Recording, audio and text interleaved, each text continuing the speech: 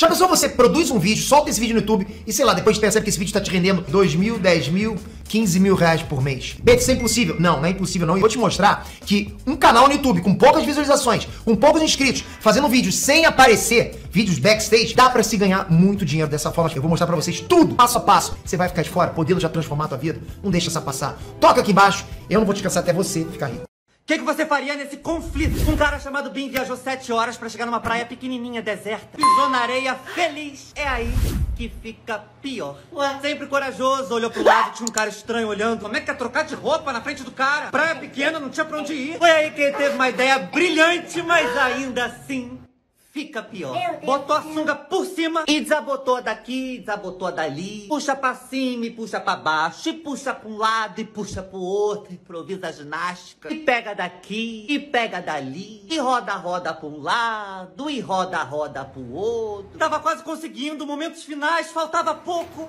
Uou, isso vai assar. Quando finalmente conseguiu trocar de roupa, foi andando pro mar todo assado, mas ainda assim fica pior. No que o sujeito levantou pra ir embora, não é que o cara era cego? Bim ficou assado à toa. Fox que acabou ficando cego também, só que do olho de baixo. Inferno! O que toda mãe tem em comum. Na praia fui esticar canga, joguei areia no olho da minha mãe. Antes do grão tocar no olho, ela já tava com a mão do tapa posicionada. Ela falou assim, aqui. Ai, deu jeito no braço. Ah, se a mãe for te bater e der jeito no braço. Ela vai com o braço ruim mesmo, vai manca, capenga, perneta, vai igual um saci. Ah, desconta na tua fuça. Sai correndo, ela veio atrás. Perto da praia tinha um rio que dava no mar. Entrei no rio e falei assim, aqui ela não pega. Água quentinha, tinha uma moça de boa lá no rio, só um cheiro meio esquisito. Minha mãe passou me procurando. Reparei que tinha um cano em cima do rio. Coisa boa saindo de cano só se for no Mario Bros. Falei assim, moça, rola uns gotinhos nessa água aqui, um cheiro meio esquisito. Ela falou assim, normal. Eu falei assim, é, né? Que eu vi um cano ali fiquei assustado.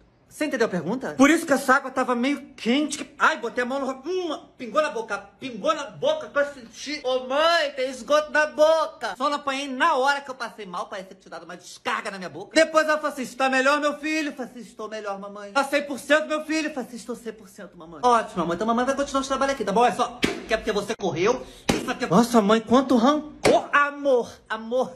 Quanto amor no coração.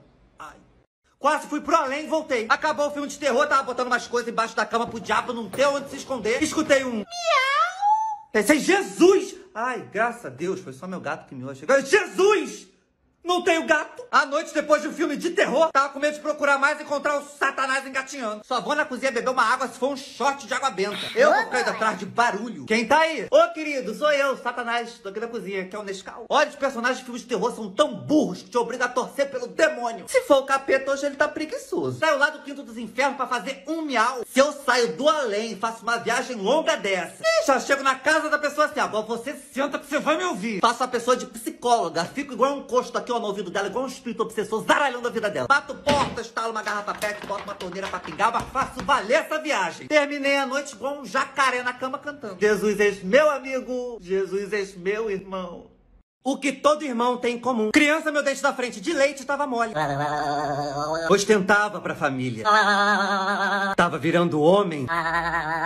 Foi aí que o pior aconteceu. Meu irmão chegou e falou assim: a fada do dente só leva o dente se tiver embrulhado pra presente. Fecha o olho que eu embrulho pra você. Quem passou quarentena com o irmão ou com a irmã entende porque que na Bíblia Caim matou o irmão Abel. Se nem o cara na Bíblia aguenta o irmão, imagina a gente. Lá fora tava a pandemia, dentro do quarto com o irmão, com a irmã, tava o pandemônio. Irmão é aquele que guarda teus segredos. Quem quebrou foi ele. Que levanta tua autoestima. Mamãe disse que te achou no lixo. Ele falou, pode abrir o olho. Quando abri, literalmente, minha vida tava por um fio. E quando vi, já foi. Quando senti, já tava sentido. Executei o golpe, que é a especialidade do irmão caçula, que é o quê? Pegar o cabelo do irmão mais velho e puxar pra baixo. A mãe chegou e, como sempre, justa, sem fazer diferença...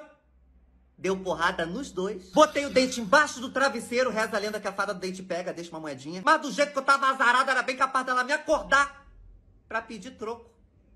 O que, que você faria nesse pecado? Eu era coroinha, tava na missa até que o mosquito. E é aí que fica pior. A freira já me deu a roupa falando assim: cuidado com essa túnica, pra não sujar, amassar. Vingança não é de Deus, mas eu só pensava em pegar aquele mosquito e.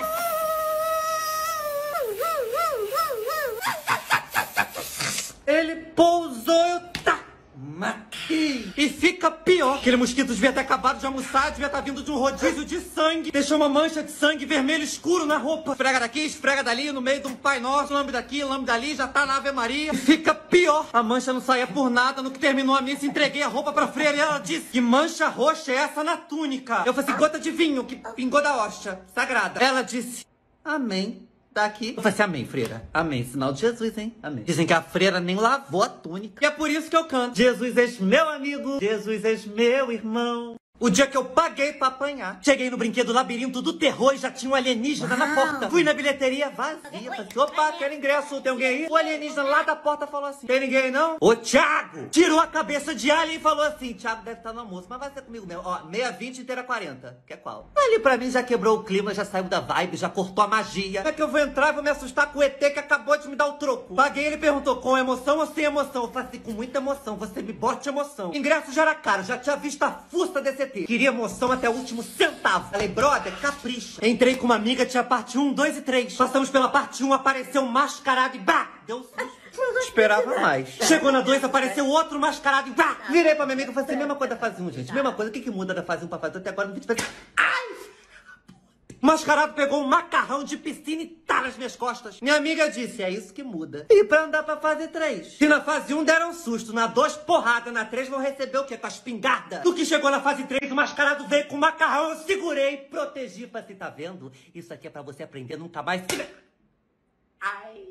Atrás tinham vários mascarados. Apanhei dos pés à cabeça. Foi porrada em plano baixo, médio, alto. Se morresse ali, levava porrada até no plano espiritual. Dizem que esse brinquedo foi evoluindo. Hoje tem até série na Netflix. Chamam de Round Six. Se tu entrar num desse e oferecerem uma batatinha frita, tu corre. A vida ensina, mas às vezes, ó, é na base da porrada. Ai, minhas costas. Fatos bizarros na infância. Criança tava vendo Tiquititas, minha mãe chegou com um presente mais esperado. Não tinha cachorro que você pediu, mas a mãe trouxe tartaruga. E eu falei, tartaruga? E aí que fica pior. Tinha uma Tati na Tiquitita, eu batizei ela de Tati. Desde o primeiro dia que a Tati chegou, as coisas desandaram. O pai perdeu o emprego, loja faliu, problema de saúde. Minha mãe cismou que a Tati dava azar. Mônica, amiga da minha mãe, disse, que azar que nada, besteira. Dá essa Tati aqui que eu vou cuidar dessa tartaruga lá em casa. Mônica levou a Tati embora e fica pior. Três dias depois, Mônica ligou. Acabei de chegar do trabalho, minha casa pegou fogo. Perdi tudo, só tô com a roupa do corpo. Tudo sobrou nem a escova de dente. E fica pior. A tartaruga era zarada mesmo. Pelo menos agora me livrei dessa desgraça dessa tartaruga. Ué, a tartaruga sobreviveu. Dizem que Tati saiu da cinza igual a Fênix, pronta pra desgraçar outro dia. Parecia um filhote de Satanás saindo do quinto dos infernos. E Mônica falava. Agora a única coisa que eu tenho é essa... essa tartaruga. Vou devolvê-la pra vocês. Minha mãe falou, se tu aparecer aqui com esse diabo dessa tartaruga, quem bota fogo na tua próxima casa sou eu. Alguém aí adotaria a Tati? E qual é o fato bizarro da vida de vocês? Passei um sufoco na frente do colégio inteiro. A freira falou: você vai fazer Jesus na peça da escola. Como é que recusa pedido de freira? Não quis fazer desfeita nem com a freira, nem com Jesus, aceitei. Ela disse: mas relaxa que vai ter pouquinha gente. Cheguei pra apresentação, tava o colégio inteiro: alunos, professores, funcionários, todo mundo. Pensei pouquinha gente, né? Se mentira for pecado, essa freira tá fudifica pior. Ela me deu um pedacinho de pano e falou assim: aqui tá a roupa da crucificação. Parecia uma tanguinha. Quase que eu falei, querida, errou de filme. Não é Tarzan, não, é Jesus. Eu disse: freira, tem uma bermudinha, minha bênção. Ela respondeu respondeu, já viu Jesus de bermudinha? E fica pior, tive que entrar rezando com a cruz e levando chibatada de um soldado que era o Afonso. Afonso queria fazer o papel de Jesus, não rolou. E descontou a frustração nas minhas costas. Ai, nossa. Ai! Santificado seja o vosso nome, Jesus. Perdoamos a quem nos tem ofendido, Afonso E fica pior. Ódio foi subindo, quis vingança. Só que eu era Jesus, não podia virar e dar um soco no soldado. Ia mudar a história da humanidade. O padre ia narrar, versículo 3, Jesus dá um porradão no romano. O que, é que eu fiz? Tentei discretamente dar uma porrada na cabeça do Afonso com a ponta da cruz. Fui andando assim como nós perdoamos a quem nos tem ofendido. Não nos deixeis cair em tentação, mas livremos do mal. Amém. Na emoção, aquela tanguinha embaixo foi entrando, ficando cavada. Depois depois tirei o manto, parecia que eu tava de biquíni. Acabou a apresentação, a freira emocionada falou: faz um pedido, Jesus realiza. Cheguei em casa focado. Vou pedir a cabeça do Afonso.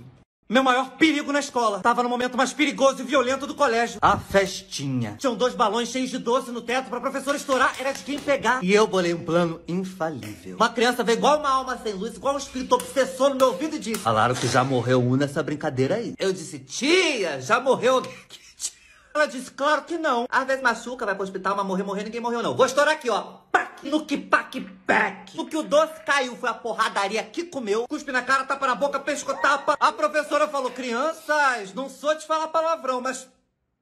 Pombas? Até hoje não entendi essa pomba. Se eu pudesse voltar no tempo, eu diria: minha consagrada pomba palavrão só se for a pomba de baixo. Executei meu plano, fui sozinho pra debaixo do balão que não tinha sido estourado ainda. Só que o satanás da professora tava de costas. Eu falei assim: satanás, é. Tia! Oi, alguém cutuca aquela demônia ali pra mim? Ela virou pra mim sorrindo, veio caminhando. Atrás da criança puxava uma o cabelo da outra pelo choquito. Ela veio desfilando. O outro apertava o pescoço do colega pela paçoca. Ela chegou perto com um brilho no olhar. E eu pensando: anda, suas zaralhudas, antes que saia tiro pelo fine. Ela estourou e Esse era talco. E no que pac foi pec no meu olho, só talco pra usar na cara de bunda que eu fiquei. Ainda chamei essa desgraçada. E ela ainda veio sorrindo, essa desgraçada.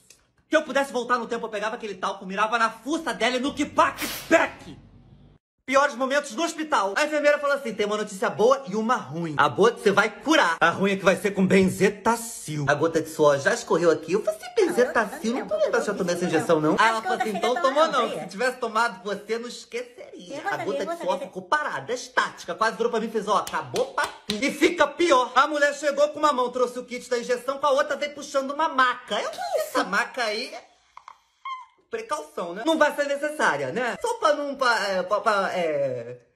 Né? Ela pegou o algodão, quis rezar aquele algodão. Ela pegou o álcool, quis benzer aquele álcool. Ela pegou a seringa, quis exorcizar aquela seringa. Fica pior. Ela falou assim: baixa a calça que vai ser na nádega. Tava falando assim: minha consagrada, meu rabo não tem nem estrutura pra receber um negócio desse. Não tem nem carne, nem bunda pra receber uma agulha dessa. Isso aí me fura, me atravessa, eu fico igual um espetinho de salsicha. Fica pior. No que furou, eu entendi o porquê da marca. É pra depois a gente deitar, já se acostumar com um caixão. A Aline sabia que se a morte não levou naquele momento, ela deixou horário marcado. Fiquei com uma nádega murcha, outra empinadinha, parecia que minha bunda tava caolha. No dia seguinte estava curado, mas minha nádega esquerda nunca mais foi a mesma.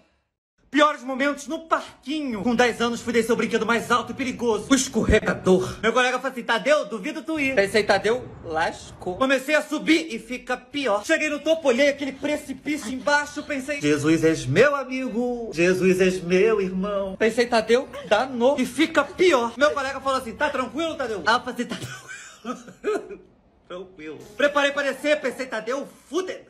Ferrou. Meu colega falou assim, tá tranquilo mesmo aí, Tadeu? A voz não saía, a boca não mexia, a cabeça nem virava. E fica pior. Desci o escorrega de madeira quente, bate um sol, foi.